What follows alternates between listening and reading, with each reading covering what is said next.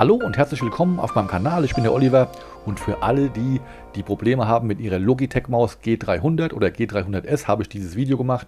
Ich zeige euch, wie man die Maus auseinanderbaut und gebe euch drei Tipps, was zu beachten ist, wenn ihr diese Maus sauber machen wollt oder reparieren wollt. Als allererstes mal geht es darum, die Maus auseinanderzubauen.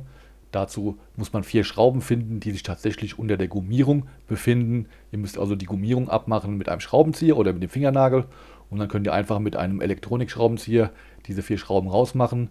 Dann stellt ihr die Maus auf den Tisch und könnt jetzt ganz gemütlich den Deckel abheben und schon ist die Maus offen.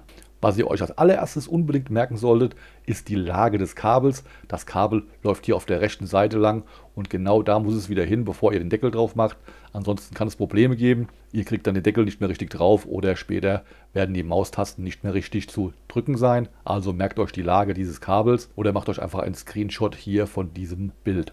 Dann der zweite Tipp, ich habe mich also dazu entschieden, die ja, linke und die rechte Maustaste einfach auszutauschen, also die rechte Taste auf die linke Seite zu machen und die linke Taste auf die rechte Seite. Das heißt, ich habe die beiden Tasten einfach ja, mit dem Lötkolben entfernt, also das Lotsin heiß gemacht und mit einer Zange und mit einem Schraubenzieher dann beide Taster herausgehebelt, die einfach an der Lage geändert und wieder festgelötet. Und das ist auch schon der zweite Tipp.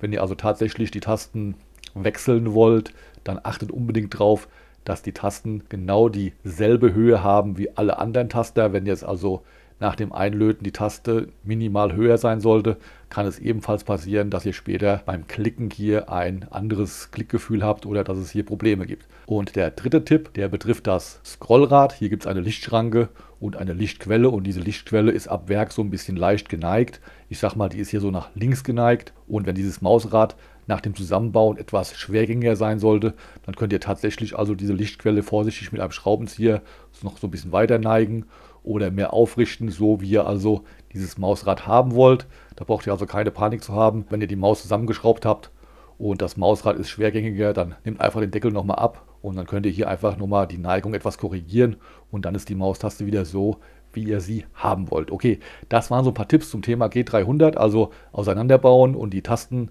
von links nach rechts und so weiter austauschen, ist überhaupt kein Problem. Man kann die Maus natürlich noch sauber machen, mit einem Wattestäbchen vielleicht, das Mausrad noch ein bisschen putzen, damit hier der Handschweiß von Jahren mal da wegkommt. Und dann habt ihr hier also wieder eine Maus, die hoffentlich dann wieder picobello funktioniert.